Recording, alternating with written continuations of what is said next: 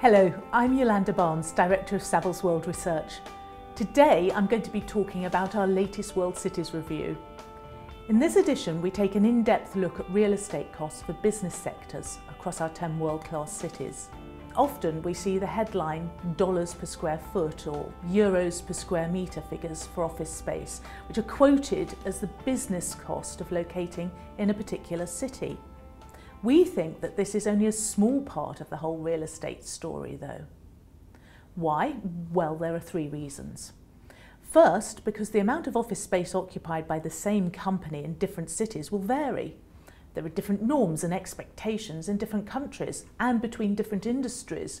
Second, rent isn't the whole story. Leaving aside the companies who might want to own their own buildings rather than lease them, there are hidden costs like rates, taxes and levies that can add to the rent burden in some jurisdictions. Finally, residential property can impose a far greater real estate cost burden than commercial property. For example, some expat CEOs and directors have their rents paid by the company. Apart from that direct cost though, residential accommodation has become more important in a more indirect way. Wage expectations and local standards will be driven by the standard of living expected and its cost. A major component of this, if not the major component, will be the quality and cost of housing. Our research shows that across all our world cities, 75% of real estate costs will be residential rather than commercial. It has long been said in the property industry, and not without some foundation, that relocation decisions are made on the basis of where the CEO would like to live rather than where the finance director derives maximum efficiencies. So we've taken a slightly different approach to this and we've looked at seven people who might be employed in a financial company and a creative company. And we've looked at the seven households associated with those employees and measured what it costs them to be accommodated in residential property as well as in office property. We have also included the hidden real estate costs like local rates and taxes for both types of property. Now when all of these things are combined, the cost rankings can differ somewhat from the headline office rents.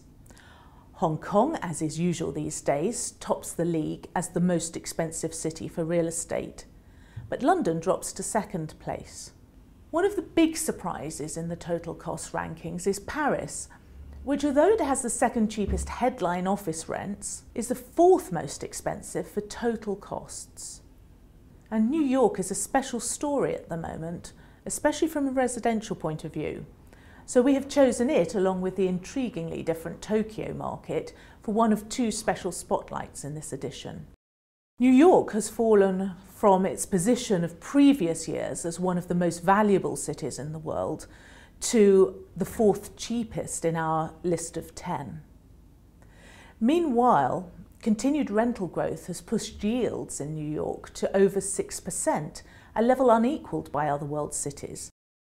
As usual, this video can only cover the highlights and you can find out much more by reading the report. You can find out, for example, how a new metro line has boosted values in a Mumbai suburb by as much as 70% in one year, and how cooling measures and changing tax regimes are affecting some city markets. All this is set against a background of rising wealth in the East and the increasing dominance of private money over institutional and corporate wealth. And this continues to change the hierarchy of our world city values. We hope you enjoy this Insights edition and the subsequent special papers that we'll be releasing through the year. For more information and to download the full report, please visit www.savills.com forward slash world cities. Thank you.